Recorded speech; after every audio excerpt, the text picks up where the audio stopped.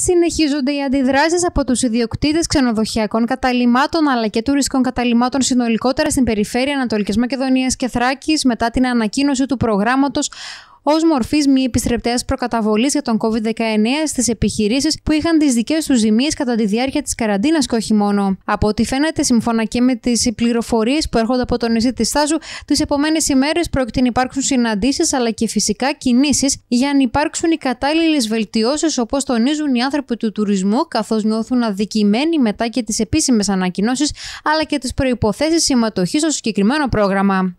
Μεταξύ άλλων, το συγκεκριμένο ζήτημα επανέρχεται ξανά στην επικαιρότητα μετά και την επίσκεψη της Μαρίας Αντωνίου, προϊσταμένης γραφείου Θεσσαλονίκης του Πρωθυπουργού, καθώς η κυρία Αντωνίου ξεκαθαρίζει και στην κάμερα του ένα channel ότι πρόκειται να έρθει σε επαφή με τον Περιφερειάρχη Ανατολικής Μακεδονίας και Θράκης, κύριο Χρήστο Μέτιο, για να συζητηθούν τα συγκεκριμένα θέματα που έχουν τεθεί και σε αυτήν από τους ξενοδόχους αλλά και από τον πρόεδρο του Επιμελητηρίου Καβάλας Μάρκο Δέμπα, και να υπάρξουν οι κατάλληλες επαφές στο να μπορούν να πραγματοποιηθούν οι κατάλληλες ανταλλαγές. Το απόγευμα της Κυριακής πραγματοποιήθηκε έκτακτη σύσκεψη συνολικότερα για τα μέτρα που παρουσιάστηκαν και πρόκειται το επόμενο διάστημα να ζητήσουν και αυτοί να γίνουν οι κατάλληλες τροποποιήσεις συνολικότερα στο πρόγραμμα.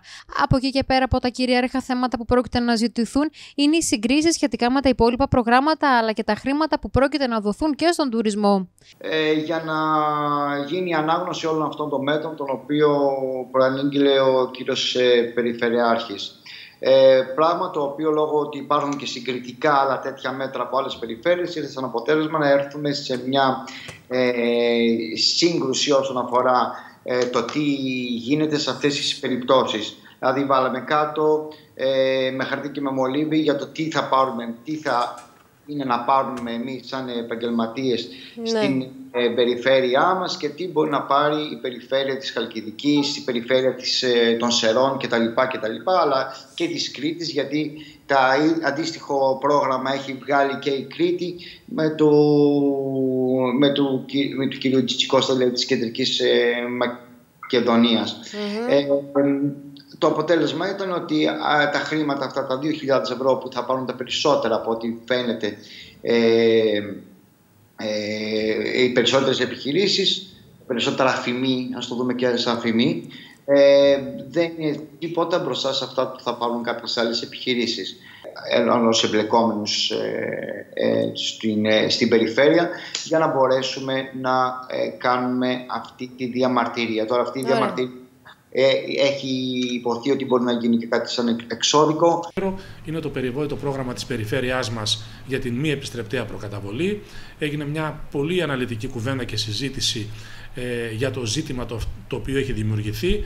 Ε, ήδη είχε ε, ακούσει και διαβάσει και τις διαμαρτυρίες και των φορέων της Στάσου και του Δημάρχου ε, σχετικά με το ζήτημα αυτό. Ζήτησε την άποψή μας ε, δώσαμε την κοινή επιστολή των επιμελητηρίων που αναφέρουμε τα 7 σημεία τριβής με πρωταρχικό το θέμα της εποχικότητας, δηλαδή των εποχικών επιχειρήσεων κυρίως στη Στάσου, αλλά και όχι μόνο και στις παραλιακές ζώνες της Καβάλας, Ηρακλήτσα, Πέραμος, Σοφρίνιο και Αραμωτή που και αυτές αδικούνται κατάφορα από αυτό το πρόγραμμα και φυσικά ε, έγινε και μια ενημέρωση για το ποιες είναι και οι προτάσεις τις οποίες έχουμε.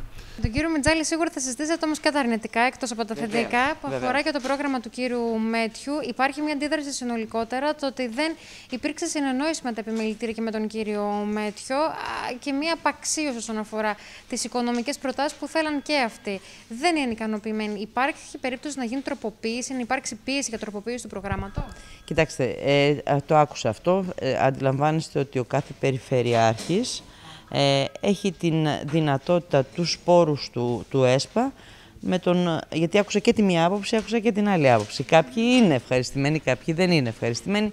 Συνήθως τα εργαλεία τα οποία ε, βοηθάνε για να, να διατηρηθούν οι θέσεις εργασίας που έχουμε προβλεφθεί από την κυβέρνηση. Είναι πολλά αυτά τα εργαλεία και για τη διατήρηση και η αναστολή και οι φοροαπαλλαγές και η επιστρεπτέα και το τεπίχ. Υπάρχουν εργαλεία που ανάλογα σε κάθε επιχείρηση τι κουμπώνει και τι μπορεί να εκμεταλλευτεί. Ε, η Περιφέρεια αποφάσισε να υλοποιήσει ένα ε, πρόγραμμα ε, τύπου επιστρεπτέας, η Περιφέρεια Ανατολικής Μακεδονίας Τράκης, η οποία βάζει τους ελεύθερους επαγγελματίες, το, ένα, ίσως αυτό που άκουσα, ότι βλέπει τις μικρές επιχειρήσεις.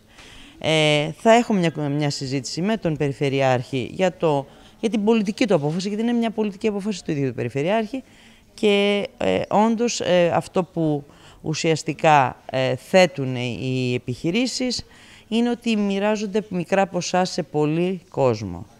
Ε, έχει κάποιες, ε, όντως, από ό,τι είδα, η πρόσκληση, η εκδήλωση ενδιαφέροντος από την περιφέρεια. Θα έχουμε την ευκαιρία τις επόμενες μέρες να συζητήσουμε με τον Περιφερειάρχη